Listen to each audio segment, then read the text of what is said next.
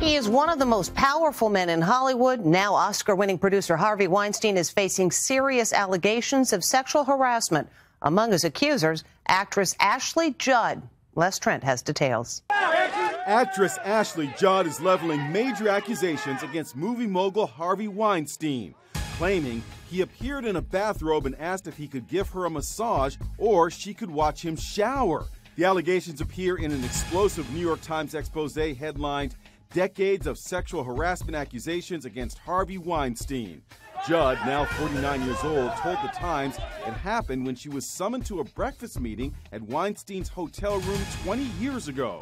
The Times quoted her as saying, How do I get out of the room as fast as possible without alienating Harvey Weinstein? At the time, Judd was filming Kiss the Girls. Weinstein is one of the most powerful producers in Hollywood, responsible for blockbusters like Pulp Fiction, Chicago, and Silver Lining Playbook.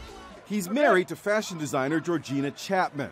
Weinstein tells The Times he is taking a leave of absence and issued this statement I appreciate the way I've behaved with colleagues in the past has caused a lot of pain, and I sincerely apologize for it. According to the New York Times, Weinstein has reached settlements with a total of eight women over nearly three decades. A lawyer for Mr. Weinstein says he's preparing to sue the Times, claiming the article was, quote, saturated with false and defamatory statements.